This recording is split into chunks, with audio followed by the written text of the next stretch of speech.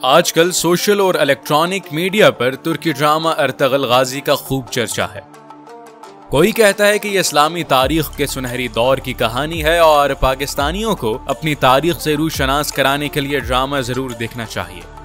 इसरार जहाँ की आज की इस वीडियो में हम ये जानने की कोशिश करेंगे कि अरतगुल गाजी कौन थे और आप किस मज़हब से ताल्लुक रखते थे। ये सब बातें जानने के लिए इस वीडियो को आखिर तक देखिएगा और इसके साथ साथ हमारे चैनल इसरार जहाँ को सब्सक्राइब करते चलिए, ताकि आने वाली मजीद दिलचस्प और मालूम से भरपूर वीडियोस आप तक पहुँचती रहें। तुर्की की तारीख पर एक बड़ा इल्मी काम चार जखीम जिल्दों पर मुश्तमिल कैम्ब्रिज हिस्ट्री ऑफ़ तुर्की है, जिसकी तदवीन में तुर्क और उस्मानी तारीख पर अथॉरिटी प्रोफेसर सुरैया फारूकी, मावन मुदीर के तौर पर और उनके अलावा दीगर तुर्क मौरखीन भी शामिल थे। इसकी पहली जिल्द में जो दस सौ इकहत्तर से चौदह सौ तिरपन के जमाने से मुतालिक है अर्तगल का नाम सिर्फ़ एक जगह सफ़ा एक सौ अठारह पर मरकूज है मुसन्फ के नज़दीक अर्तगल के बारे में हम कुछ नहीं जानते और इसकी मौजूदगी का पता इसके बेटे उस्मान के एक सिक्के से चलता है मुसन्फ के अल्फाज हैं We know nothing about the life of Ertugrul, and his existence is independently attested only by a coin of.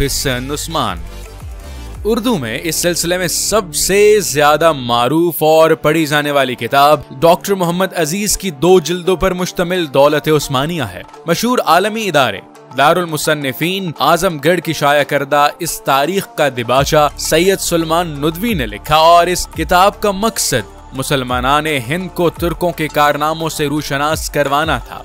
Doctor अज़ीज़ लिखते हैं कि सुलमान शाह और अर्तगल गैर मुस्लिम थे और कबीले का पहला शख्स जिसने इस्लाम कबूल किया। अर्तगल का बेटा उस्मान था।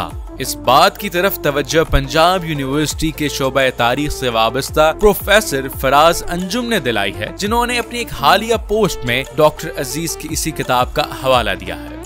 डॉक्टर अज़ीज़ एक मगरबी मौरख हर्बर्ट एडम्स गिबन्स की शहादत पेश करते हुए लिखते हैं कि मिस्टर हर्बर्ट गिबन्स ने अपनी मुस्तनद तालीफ असास सल्तनत उस्मानिया को शाया करके ये ताज़ा तहकीक पेश की है कि सगूत में बूदोबाश इख्तियार करने के वक्त उस्मान और उसके कबीले के लोग बुत परस्त थे। वो बराह रास्त तर्जुमा करते हुए लिखते हैं, तेरहवीं सदी ईस्वी की इब्तदा में खुरासान और मावरा अल अनहर के दोनों इलाकों की जो कौमें एशियाई कौशक की सरहदों पर नमूदार हुई, उनके इस्लाम लाने का कोई सरी ही ज़िक्र किसी तारीख में नहीं मिलता।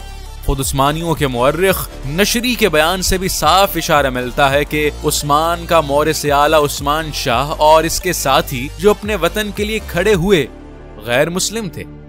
बारहवीं सदी ईसवी और इसके बाद के स्याहों की बकसरत शहादतों से ये भी मालूम होता है कि ये कौमें बुत परस्त थी। इन मुख्तलिफ़ तुर्की कबीलों ने जो इस जमाने में एशियाई कोचक में दाखिल हुए, अपने आप को एक इस्लामी माहौल में पाया।